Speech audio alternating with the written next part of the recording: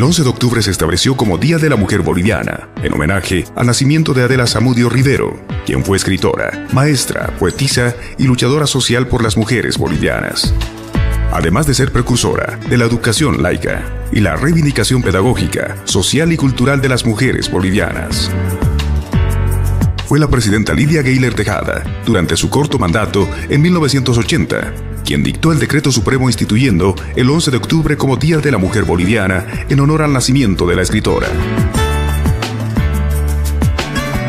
Adela Zamudio, con su intelectualidad y acciones, abrió caminos que llevaron a una más activa participación de las mujeres en las actividades de la sociedad. Actualmente, la Constitución Política del Estado Plurinacional de Bolivia reconoce los derechos sociales, económicos y políticos de las mujeres como parte fundamental y estructural de la sociedad boliviana, que resalta a la mujer boliviana como el pilar fundamental de la familia por su importante presencia en el hogar y en la vida de cada uno de los miembros de la familia. Por esto y mucho más, felicidades a todas las mujeres bolivianas.